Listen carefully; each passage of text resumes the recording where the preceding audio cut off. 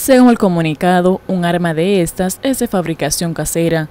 También informaron que fue apresado un individuo al que le ocuparon alegadas sustancias prohibidas, todo esto en hechos separados. Por instrucciones del coronel Francisco Sención de la Cruz, director regional sur central, y la supervisación por el coronel licenciado Eligio García Montero, subdirector regional sur central, el teniente coronel Julio Ramírez Lugo, comandante del departamento, instruyó a la unidad de acción rápida de la realización de un amplio recorrido por diferentes zonas de esta ciudad.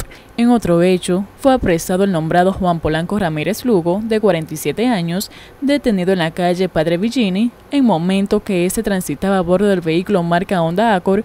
Al ser requisado, se le ocupó una pistola con seis cápsulas para la misma, sin ningún tipo de documentos que acredite su legalidad. Finalmente, en otro hecho ocurrido en la calle 5 del sector Pueblo Nuevo, El Fundo, resultó detenido el nombrado Santos Jerónimo Báez.